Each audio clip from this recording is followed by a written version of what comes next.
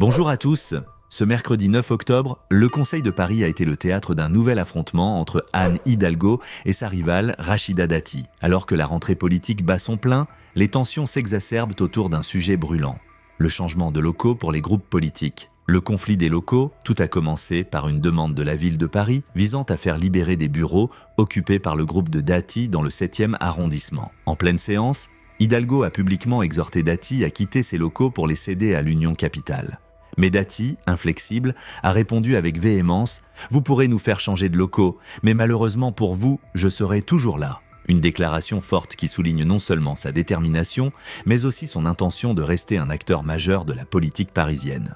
Des accusations cinglantes, de l'attention est de monter d'un cran lorsque Dati a lancé une série de reproches à l'égard de Hidalgo. Elle a dénoncé une politique qui, selon elle, pénalise les familles et a affirmé que Paris ne construisait plus, mais se bétonnait. Avec l'érosion de la population scolaire de la capitale, qui a perdu plus de 30 000 élèves sous le mandat d'Hidalgo, Dati a mis en lumière une question cruciale sur l'avenir de l'éducation dans la ville. Hidalgo riposte avec une allusion à Trump. Face à ces accusations, Hidalgo n'a pas tardé à répliquer. Elle a comparé Dati à Donald Trump en se référant à une phrase célèbre de Kamala Harris Vous faites campagne sur les problèmes et nous, nous les résolvons. Une manière habile de rappeler que la politique doit aller au-delà des critiques et se concentrer sur des solutions concrètes pour les Parisiens.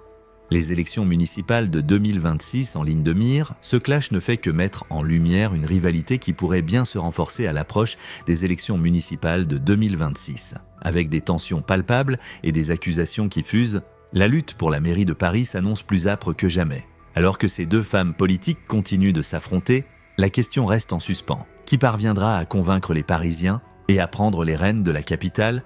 Restez avec nous pour suivre cette saga politique qui ne fait que commencer.